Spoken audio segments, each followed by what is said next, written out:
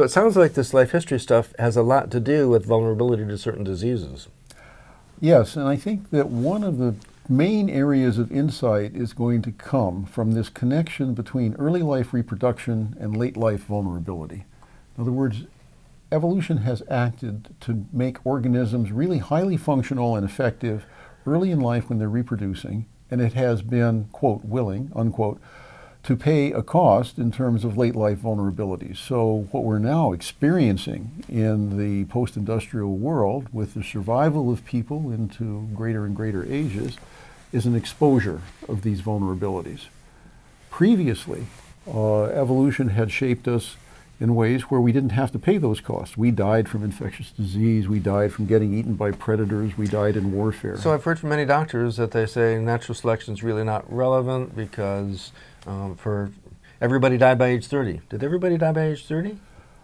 No, everybody didn't die by age 30. The average life expectancy at birth was 30, but if you lived to be 20, it was likely that you would make it to 60. Was aging faster? No, I don't think aging was faster. I think what was going on isn't that people weren't dying from aging. They were dying from for other reasons. And what that did was it meant that aging could evolve as a buy now, pay later plan where you didn't have to make the subsequent payment. okay, so this is awfully relevant aspect of life history theory to disease, aging and all of its complications. When we say aging, it sounds like there's kind of a mechanism of aging that gets turned on. Is that the right way to think about it? No, not really. I think you should think of aging as a diffuse uh, erosion of our body's ability to maintain itself that happens in many different systems across the body. So there's, well, there's a lot of data ages back about how the decline was really consistent across all the different organs. The liver and the kidneys and the eyes and the heart all declined at the same rate, which made people think there was some central control system. Well, no central control system has really been found. There are some things that do have effects on several organ systems. But I think the take home message from what we understand about the evolution of aging is that we can expect every person to be aging in a slightly different way, and that if we manage to fix one of their problems, another one will pop up.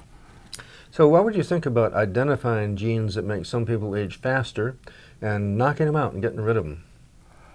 Well, I think that what you would find is that those genes were doing something else that was really quite useful, or they wouldn't have been there. And my suspicion would be that those genes were doing something very important early in life. Mm-hmm. And George Williams, of course, gave this classic example of a gene that made your bones heal faster early in life and also caused calcification of coronary arteries. And since not very many people are alive to have calcification of the coronary arteries cause much harm, that gene gets selected for.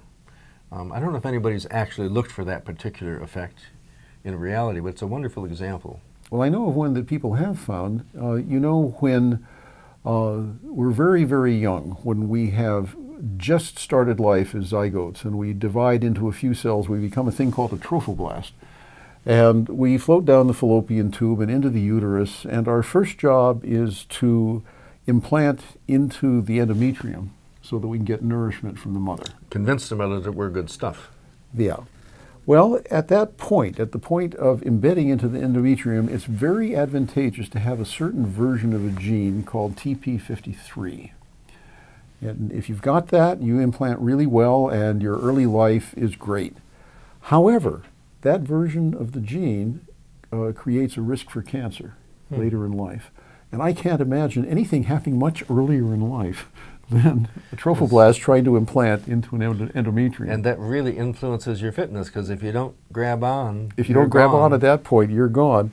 So I think there are a lot of things like that, and we just don't know them yet because that very early biology is all happening inside the mother, and it's not so easy to explore.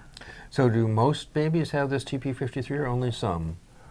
Uh, very few babies have the version of the TP53 that increases the risk of cancer that much. In other words, it appears that the cost was significant enough that the benefit, in most cases, did not outweigh it.